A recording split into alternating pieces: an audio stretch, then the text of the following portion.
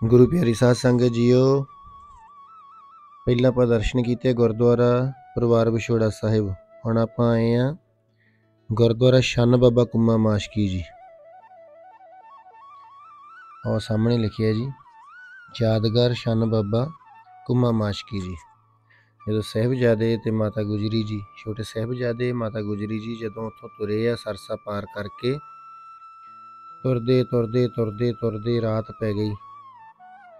ਤੇ ਇਸ ਥਾਂ ਤੇ ਛੰਨ ਬਣੀ ਹੋਈ ਸੀ। ਉਹ ਮਾਈ ਲక్ష్ਮੀ ਜੀ ਲੰਗਰ ਹਾਲ ਲਿਖਿਆ ਆ।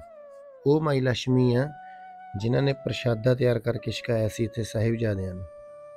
ਜਦੋਂ ਬਾਬਾ ਕੁੰਮਾ ਮਾਸ਼ਕੀ ਜੀ ਨੇ ਇਹ ਸੇਵਾ ਲਈ ਸੀ। ਇਸ ਥਾਂ ਤੇ ਛੰਨ ਸੀ ਜੀ। ਧੰਨ ਮਾਤਾ ਗੁਜਰੀ ਜੀ। ਛੋਟੇ ਸਾਹਿਬਜ਼ਾਦੇ ਧੰਨ ਬਾਬਾ ਜੋਰਾਵਰ ਸਿੰਘ ਜੀ, ਧੰਨ ਬਾਬਾ ਫਤਿਹ ਸਿੰਘ ਜੀ। ਜਦੋਂ ਇਸ ਥਾਂ ਤੇ ਪਹੁੰਚੇ ਆ ਉਹਨਾਂ ਨੇ ਫੇਰ ਬਾਬਾ ਕੁੰਮਾ ਮਾਸ਼ਕੀ ਜੀ ਨੂੰ ਬੇਨਤੀ ਕੀਤੀ ਸ਼ਾਨ ਦੇ ਬਾਹਰ ਖੜੇ ਹੋ ਕੇ, ਕਿ ਕਿਰਪਾ ਕਰਕੇ ਸਾਨੂੰ ਇੱਕ ਰਾਤ ਰਹਿਣ ਦਾ ਇੱਥੇ ਟਿਕਾਣਾ ਦੇ ਦਿਓ। ਇੱਥੇ ਫਿਰ ਇੱਕ ਰਾਤ ਰੁਕੇ ਆ ਜਦੋਂ ਬਾਬਾ ਕੁੰਮਾ ਮਾਸ਼ਕੀ ਜੀ ਨੂੰ ਪਤਾ ਲੱਗਾ ਸਾਰੀ ਗੱਲ ਦਾ। ਬੜੇ ਵਿਰਾਗ ਵਿੱਚ ਆਏ, ਬੜਾ ਮਨ ਦੁਖੀ ਹੋਇਆ। ਫਿਰ ਉਹਨੇ ਦੇਖਿਆ ਵੀ ਪ੍ਰਸ਼ਾਦਾ ਕਦੋਂ ਦਾ ਛਕਿਆ ਹੋਊ ਵੀ ਅਨੰਦਪੁਰ ਸਾਹਿਬ ਦੇ ਕਿਲੇ ਵਿੱਚ ਵੀ ਰਾਸ਼ਨ ਖਤਮ ਹੋਇਆ ਸੀ। ਉੱਥੋਂ ਫਿਰ ਤੁਰਦਿਆਂ ਨੂੰ ਸਰਸਾ ਕਿਨਾਰੇ ਆਏ, ਸਰਸਾ ਪਾਰ ਕਰਕੇ ਫਿਰ ਸਾਰੀ ਦਿਹਾੜੀ ਤੁਰ ਕੇ ਇੱਥੇ ਪਹੁੰਚੇ ਆ। ਵੀ ਪ੍ਰਸ਼ਾਦਾ ਕਦੋਂ ਦਾ ਛਕਿਆ ਹੋਊ? ਫਿਰ ਮਾਈ ਲక్ష్ਮੀ ਬੀਬੀ ਲక్ష్ਮੀ ਕੋਲ ਗਏ। ਉੱਥੇ ਫਿਰ ਪ੍ਰਸ਼ਾਦਾ ਇਹਨਾਂ ਨੇ ਛਕਿਆ। ਮਾਈ ਲక్ష్ਮੀ ਨੇ ਤਿਆਰ ਕਰਕੇ ਛਕਾਇਆ। ਹੁਣ ਦਰਬਾਰ ਸਾਹਿਬ ਦੇ ਦਰਸ਼ਨ ਕਰੋ। ਬਾਹਰ ਇਤਿਹਾਸ ਲੱਗਾ ਹੋਇਆ ਹੈ। ਇਹਦੇ ਦਰਸ਼ਨ ਕਰੋ। ਜੇ ਪੜ੍ਹਨਾ ਹੈ ਆਪਾਂ ਸਾਰਾ ਤੇ ਵੀਡੀਓ ਨੂੰ ਰੋਕ ਕੇ ਇੱਕ ਥਾਂ ਤੇ ਤੁਸੀਂ ਤੁਸੀਂ ਇਤਿਹਾਸ ਨੂੰ ਐਨ ਚੰਗੀ ਤਰ੍ਹਾਂ ਪੜ੍ਹ ਸਕਦੇ ਆ ਇੱਥੇ ਜਿਹੜੇ ਗੁਰਮੁਖ ਪਿਆਰੇ ਆ, ਉਹ ਆਪਾਂ ਨੂੰ ਇਤਿਹਾਸ ਸਰਵਣ ਵੀ ਕਰਾਉਣਗੇ।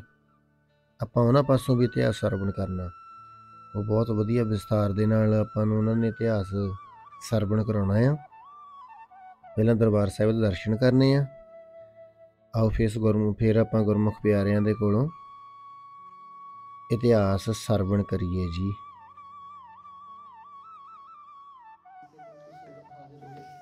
ਇਹ ਸਥਾਨ ਕਲਗੀਧਰ ਗੁਰੂ ਗੋਬਿੰਦ ਸਿੰਘ ਜੀ ਮਹਾਰਾਜ ਨੇ ਜਦੋਂ ਸਰਸੇ ਦੀ ਜੰਗ ਜਿੱਤੀ, ਉਹ ਜੰਗ ਇੰਨੀ ਜ਼ਬਰਦਸਤ ਸੀ ਕਿ ਉਸ ਜੰਗ ਦੇ ਸ਼ਾਸਤਰ ਅੱਜ ਤੱਕ ਸਰਸੇ ਵਿੱਚੋਂ ਬਰਾਮਦ ਹੋ ਜਾਂਦੇ। ਉਸ ਜੰਗ ਵਿੱਚ ਕਲਗੀਧਰ ਗੁਰੂ ਗੋਬਿੰਦ ਸਿੰਘ ਮਹਾਰਾਜ ਦਾ ਪਰਿਵਾਰ ਸੀ ਜਿਹੜਾ ਉਹ ਤਿੰਨ ਹਿੱਸਿਆਂ ਵਿੱਚ ਵੰਡਿਆ ਗਿਆ। ਪਹਿਲਾ ਹਿੱਸਾ ਗੁਰੂ ਗੋਬਿੰਦ ਸਿੰਘ ਜੀ ਮਹਾਰਾਜ ਨੇ ਸਰਸਾ ਪਾਰ ਕੀਤਾ। ਘਨੌਲੇ ਦੇ ਕਿਲੇ ਦੇ ਸਾਹਮਣੇ ਨੂੰ ਜਿਹਦੇ ਵਿੱਚ ਵੱਡੇ ਸਾਹਿਬਜ਼ਾਦੇ ਬਾਬਾ ਅਜੀਤ ਸਿੰਘ, ਬਾਬਾ ਜੁਝਾਰ ਸਿੰਘ। ਦੂਜਾ ਪੰਥ ਦਾ ਹਿੱਸਾ ਪੰਥ ਦੀ ਮਾਤਾ ਮਾਤਾ ਸਾਹਿਬ ਕੌਰ, ਮਾਤਾ ਸੁੰਦਰ ਕੌਰ, ਬੀਬੀ ਬੀਬੋ ਤੇ ਬੀਬੀ ਭਾਗੋ ਤੇ ਤਿੰਨ ਸਿੰਘ ਭਾਈ ਜਵਾਹਰ ਸਿੰਘ, ਭਾਈ ਧੰਨਾ ਸਿੰਘ ਦਿੱਲੀ ਦੇ ਰਹਿਣ ਵਾਲੇ ਸਿੰਘ ਸੀ, ਭਾਈ ਮਨੀ ਸਿੰਘ। ਜਦੋਂ ਇਹ ਸੱਤਾਂ ਸਿੰਘਾਂ ਸਿੰਘਣੀਆਂ ਨੇ ਸਰਸਾ ਪਾਰ ਕੀਤਾ ਤਾਂ ਭਾਈ ਜਵਾਹਰ ਸਿੰਘ ਕਹਿਣ ਲੱਗੇ, ਪੰਥ ਦੇ ਵਾਲੀ ਸਰਸਾ ਪਾਰ ਕਰਨ ਤੋਂ ਬਾਅਦ ਸਾਡੀਆਂ ਕੀ ਸੇਵਾਵਾਂ ਹਨ? ਤਾਂ ਗੁਰੂ ਗੋਬਿੰਦ ਸਿੰਘ ਮਹਾਰਾਜ ਨੇ ਕਿਹਾ, ਤੁਹਾਡੀਆਂ ਸੇਵਾਵਾਂ, ਪੰਥ ਦੀਆਂ ਮਤਾਵਾਂ, ਹੁਣ ਭਾਈ ਮਨੀ ਸਿੰਘ ਦੀ ਅਗਵਾਈ ਹੇਠ ਰੋਪੜ ਦੀ ਤਰਫ ਨੂੰ ਵੱਧ ਰਹੀਆਂ, ਤੁਸੀਂ ਉਹਨਾਂ ਨੂੰ ਕਿਸੇ ਸੁਰੱਖਿਅਤ ਸਥਾਨ ਤੇ ਲੈ ਜਾਓ। ਤਾਂ ਭਾਈ ਜਵਾਹਰ ਸਿੰਘ ਨੇ ਕਿਹਾ ਵੀ ਰੋਪੜ ਸਾਡੀ, ਜਿਹੜਾ ਪੁਰਾਤਨ ਮਹੱਲਾ ਰੋਪੜ ਸ਼ਹਿਰ ਦਾ ਹੈ, ਉੱਚਾ ਖੇੜਾ ਉੱਥੇ ਸਾਡੀ ਨਜ਼ਦੀਕੀ ਰਿਸ਼ਤੇਦਾਰੀ ਹੈ। ਪੰਥ ਦੇ ਵਾਲੀ ਅਸੀਂ ਸੱਤਾਂ ਸਿੰਘਾਂ ਸਿੰਘਣੀਆਂ ਦੇ ਜਥੇ ਨਾਲ ਉੱਥੇ ਚੱਲ ਜਾਣਾ। ਤੇ ਬਾਕੀ ਦਾਦੀ ਮਾਂ, ਮਾਤਾ ਗੁਜਰ ਕੌਰ, ਬਾਬਾ ਜੋਰਾਵਰ ਸਿੰਘ, ਬਾਬਾ ਫਤਿਹ ਸਿੰਘ। ਇਹਨਾਂ ਨੇ ਸਰਸਾ ਪਾਰ ਨਹੀਂ ਸੀ ਕੀਤਾ। ਜਦੋਂ ਸਰਸੇ ਦੀ ਜੰਗ ਸ਼ੁਰੂ ਹੋਈ ਤਾਂ ਦਾਦੀ ਮਾਂ ਸ਼ਹਿਬਜ਼ਾਦਿਆਂ ਨੂੰ ਇੱਕ ਸੰਘਣੇ ਜੰਗਲ ਵਿੱਚ ਲੈ ਕੇ ਬੈਠ ਗਏ। ਜਦੋਂ ਜੰਗ ਦੀ ਸਮਾਪਤੀ ਹੋਈ ਤਾਂ ਸਰਸੇ ਦਾ ਕਿਨਾਰੇ ਕਿਨਾਰੇ ਆ ਕੇ ਜਿੱਥੇ ਹੁਣ ਗੁਰੂ ਕੀ ਸੰਗਤ ਹਾਜ਼ਰ ਹੋਈ। ਰਾਤਾਂ ਲੰਬੀਆਂ ਤੇ ਰਸਤਾ ਪਹਾੜ ਦਾ, ਰਾਤ ਹਨੇਰੀ ਬਿਜਲੀ ਚਮਕਾ ਰਕਨ ਜਦੋਂ ਦਾਦੀ ਮਾਂ ਨੇ ਦੇਖਿਆ ਵੀ ਇੱਕ ਪਾਸੇ ਗੁਰਦੁਆਰੇ ਦੇ ਬਿਲਕੁਲ ਨਾਲ ਸਾਡਾ ਸਤਲੁਜ ਦਰਿਆ ਹੈ, ਇੱਕ ਪਾਸੇ ਸਰਸੇ ਦਾ ਵਹਾਅ। ਉਦੋਂ ਸਰਸੇ ਦਾ ਵਹਾਅ ਇੱਥੋਂ 2.5 ਕਿਲੋਮੀਟਰ ਦੂਰ ਇਤਿਹਾਸਕ ਗੁਰਦੁਆਰਾ ਰਸਤੇ ਵਿੱਚ ਪਿਲਕਣ ਸਾਹਿਬ ਆਉਂਦਾ। ਉਹ ਪਿਲਕਣ ਦਾ ਦਰਖਤ ਅੱਜ ਵੀ ਹਰਾ ਭਰਾ ਹੈ, ਜਿਹਦੇ ਥੱਲੇ ਸਾਹਿਬਜ਼ਾਦਿਆਂ ਨੂੰ ਬਾਬਾ ਕਮਾ ਮਾਚੀ ਨੇ ਆਪਣੀ ਬੇੜੀ 'ਚੋਂ ਉਤਾਰਿਆ। ਜਦੋਂ ਦਾਦੀ ਮਾਂ ਨੇ ਦੇਖਿਆ ਚਾਰ ਚਪੇਰੇ ਤਾਂ ਇਸ ਸਥਾਨ ਤੇ ਸਰਸਾ ਤੇ ਸਤਲੁਜ ਦੇ ਸਾਂਝੇ ਪੱਤਰ ਨੂੰ ਆਰ ਪਾਰ ਕਰਾਉਣ ਦੀ ਸੇਵਾ ਕਰਦੇ ਬਾਬਾ ਕਮਾ ਮਾਚੀ ਨੇ ਇੱਕ ਰਹਿਣ ਬਸੇਰੇ ਵਾਸਤੇ ਇੱਕ ਅੱਖਾਂ ਕਾਨੇ ਦੀ ਝੁੰਗੀ ਬਣਾਈ ਸੀ। ਝੁੰਗੀ ਦੀ ਦਿਸ਼ਾ ਨੂੰ ਦਾਦੀ ਮਾਂ ਇਸ ਸਥਾਨ ਤੇ ਆਏ ਤੇ ਆਵਾਜ਼ ਦਿੱਤੀ, ਭਾਈ, ਹੈ ਕੋਈ ਰੱਬ ਦਾ ਪਿਆਰਾ ਜਿਹੜਾ ਅੱਜ ਦੀ ਰਾਤ ਆਪਣੀ ਝੁੰਗੀ ਵਿੱਚ ਸਾਨੂੰ ਠਾਰ ਦੇ ਸੇਵਾ ਨਿਭਾ ਸਕਦਾ। ਜਦੋਂ ਬਾਬਾ ਜੀ ਨੇ ਆਪਣੀ ਝੁੰਗੀ ਤੇ ਬਾਹਰ ਤਿੰਨ ਰੱਬੀ ਰੂਹਾਂ ਦੇ ਦਰਸ਼ਨ ਕੀਤੇ, ਉਹ ਦਰਸ਼ਨ ਕਰਦੇ ਹੋਏ ਨਜ਼ਰੋਂ ਨਦੀ ਨਿਹਾਲ ਹੋ ਕੇ ਦਾਦੀ ਮਾਂ ਦੇ ਚਰਨ 'ਚ ਪੈਂਦੇ ਕਹਿਣ ਲੱਗਿਆ, ਤੁਹਾਡੇ ਦਰਸ਼ਨ ਕਰਕੇ ਮੈਨੂੰ ਅਨੁਭਵੀ ਦਰਸ਼ਨ ਨਾਲ ਐ ਪ੍ਰਤੀਤ ਹੋਇਆ ਜਿਵੇਂ ਤੁਸੀਂ ਪਾਤਸ਼ਾਹ ਦੇ ਪਾਤਸ਼ਾਹ, ਬਾਦਸ਼ਾਹ ਦੇ ਬਾਦਸ਼ਾਹ ਹੱਕ ਹੱਕ ਦੇਸ਼ ਬਾਦਸ਼ਾਹ ਦਰਵੇਸ਼ ਗੁਰੂ ਗੋਬਿੰਦ ਸਿੰਘ ਮਹਾਰਾਜ ਦੇ ਪਰਿਵਾਰ ਤੋਂ ਦਾਦੀ ਮੰਨ ਕੇ ਹਾਂ ਮੈਂ ਗੁਰੂ ਗੋਬਿੰਦ ਸਿੰਘ ਮਹਾਰਾਜ ਦੀ ਮਾਤਾ, ਇਹ ਗੁਰੂ ਗੋਬਿੰਦ ਸਿੰਘ ਮਹਾਰਾਜ ਦੇ ਸ਼ਬਦ ਉਹਨਾਂ ਨੇ ਅਥਾਹ ਸ਼ਰਧਾ ਭਾਵਨਾ ਦੇ ਨਾਲ ਆਪਣੀ ਕੱਖਾਂ ਕਾਨੇ ਦੀ ਝੁੰਗੀ ਵਿੱਚ ਸ਼ਹਿਬਜ਼ਾਦਿਆਂ ਦਾ ਨਿਵਾਸ ਕਰਾਇਆ, ਜੋ ਗਰਮ ਭਾਰਾ ਕੱਪੜਾ ਸੀ, ਸ਼ਹਿਬਜ਼ਾਦਿਆਂ ਨੂੰ ਨਿੱਘ ਦੇਣ ਵਾਸਤੇ ਦਿੱਤਾ। ਨਾਲ ਪਿੰਡ ਅਵਾਨਕੋਟ ਸੱਤਰ ਮਹਾਤਮਾ ਮਾਤਾ ਕੋਲ ਗਏ, ਕਹਿਣਗੇ, ਮਾਤਾ ਜੀ ਭਈ ਅੱਜ ਕਲਪੁਰਖ ਵਾਹਿਗੁਰੂ ਨੇ ਸਾਡੇ ਕੋਲੋਂ ਵੱਡੀ ਸੇਵਾ ਲੈਣੀ। ਤੁਸੀਂ ਤਿੰਨ ਰੱਬੀ ਰੂਹਾਂ ਵਾਸਤੇ ਗੁਰੂ ਘਰ ਲੰਗਰ ਤਿਆਰ ਕਰੋ। ਮਾਈ ਲక్ష్ਮੀ ਨੇ ਬੜੀ ਸ਼ਰਧਾ ਭਾਵਨਾ ਦੇ ਨਾਲ 21 ਦਸੰਬਰ ਦਾ ਲੰਗਰ ਤਿਆਰ ਕਰਤਾ। ਬਾਬਾ ਜੀ ਕੋਲ ਭੇਜਤਾ। 22 ਦਸੰਬਰ ਨੂੰ ਮਾਈ ਲక్ష్ਮੀ ਇਸ ਸਥਾਨ ਤੇ ਲੰਗਰ ਲੈ ਕੇ ਹਾਜ਼ਰ ਹੋਈ। ਸ਼ਹਿਬਜ਼ਾਦਿਆਂ ਤੇ ਦਾਦੀ ਮਾਂ ਨੂੰ ਲੰਗਰ ਛਕਾ ਕੇ ਪ੍ਰਸੰਨਤਾ ਹਾਸਲ ਕੀਤੀ।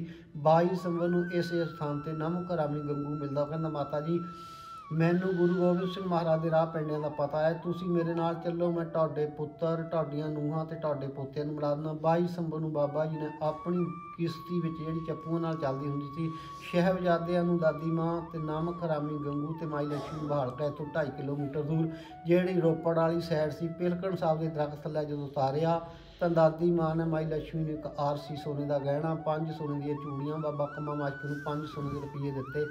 ਉਹਨੇ ਬੜੀ ਸ਼ਰਧਾ ਭਾਵਨਾ ਦੇ ਨਾਲ ਸਵੀਕਾਰ ਕੀਤੇ, ਨਾਲ ਵਚਨ ਕੀਤਾ ਵੀ ਦਾਦੀ ਮਾਂ, ਅਸੀਂ ਤਾਂ ਤੁਹਾਨੂੰ ਇੱਕ ਸਰਸਾ ਤੇ ਸਤਲੁਜ ਦੇ ਪੱਤਣ ਤੋਂ ਆਰ-ਪਾਰ ਕਰਾਇਆ। ਤੁਸੀਂ ਤਾਂ ਜੀਵਾਂ ਨੂੰ ਜਿਹੜੀਆਂ ਰੂਹਾਂ ਕਲਪੁਰਖ ਵਾਹਿਗੁਰੂ ਕੋਲ ਕਰੋੜਾਂ ਜਨਮਾਂ ਦੀਆਂ ਵਿਛੜੀਆਂ ਵਾਂ ਕੀੜਿਆਂ, ਪਤੰਗਿਆਂ, ਪਸ਼ੂ ਤੇ ਪ੍ਰੇਤ ਦੀ ਜੂਨੀ ਵਿੱਚੋਂ ਜੂਨਾ ਰੂਪੀ ਜੇਲ੍ਹ ਭੁਰਦੀਆਂ ਜੇ ਉਹਨਾਂ ਵੱਲ ਨੂੰ ਦ੍ਰਿਸ਼ਟੀ ਕਰਦਾ ਉਹ ਕਈ ਜਨਮ ਭਏ ਕੀਟ ਪਤੰਗਾ, ਕਈ ਜਨਮ ਭਏ ਮੀਨ ਕਰੰਗਾ, ਪਸ਼ੂ, ਪ੍ਰੇਤ, ਮੁਗਧ ਕੋ ਤਾਰੈ ਪਾਹਨ ਪਾਰ ਅਤਾਰੈ ਉਹਨਾਂ ਨੂੰ ਸੰਸਾਰ ਸਮੁੰਦਰ ਤੋਂ ਪਾਰ ਕਰਨ ਦੀ ਸਮਰੱਥਾ ਰੱਖਦੇ ਫਿਰ ਦਾਦੀ ਮਾਂ ਨੇ ਕਿਹਾ, ਗੁਰੂ ਨਾਨਕ ਦੇਵ ਜੀ ਮਹਾਰਾਜ, ਤੁਹਾਡੀਆਂ ਸਾਰੀਆਂ ਕੁੱਲਾਂ ਦਾ ਆਧਾਰ ਕਰਨ ਦੀ ਸਮਰੱਥਾ ਰੱਖਦੇ।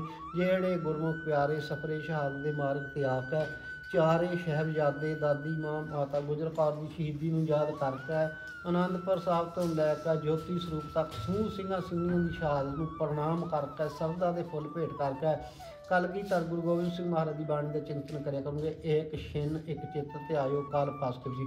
ਉਹਨਾਂ ਦੀ ਜਿਹੜੀ ਕਾਲ ਦੀ ਪਾਈ ਕੱਟੀ ਜਾਊਗੀ, ਉਹਨਾਂ ਦੀ ਜਿਹੜੀ ਆਤਮਿਕ ਅਵਸਥਾ, ਜਿਵੇਂ ਸ਼ਹਿਬਜ਼ਾਦੇ ਮੌਤ ਦੇ ਤਲ ਤੋਂ ਉੱਪਰ ਜਿੰਦੇ ਸੀ ਇਦਾਂ ਦੀ ਜਿਹੜੀ ਗੁਰੂ ਹੈ। ਗੁਰਮਤਿ ਦੀਆਂ ਵਿਚਾਰਾਂ ਕਰਦੇ ਇੱਕ ਨਹੀਂ ਹਜ਼ਾਰਾਂ ਤਰ੍ਹਾਂ ਦੀਆਂ ਤਰੁੱਟੀਆਂ ਰਹਿ ਗਈਆਂ। ਗੁਰਮਤਿ ਦੀ ਵਿਚਾਰ ਗੁਰੂ ਗੋਬਿੰਦ ਸਿੰਘ ਜੀ ਮਹਾਰਾਜ ਦਮਦਮਾ ਸਾਹਿਬ ਅਗਾਧ ਬੋਧ ਬਾਣੀ ਗਾਦ ਉਹ ਸਿੱਖ ਇਤਿਆਦਿ ਦੀ ਕਥਾ ਕਰਦੇ। ਸਾਡੀ ਨਿੱਕੀ ਜਿਹੀ ਜੀਵ ਕੋਟ ਬ੍ਰਹਮਣ ਠਾਕਰ ਸਵਾਮੀ ਦੀ ਕਥਾ ਹੁਣ ਸਭ ਭੁੱਲਾਂ ਚੁੱਕਾ ਦੀ ਖਿਮਾ।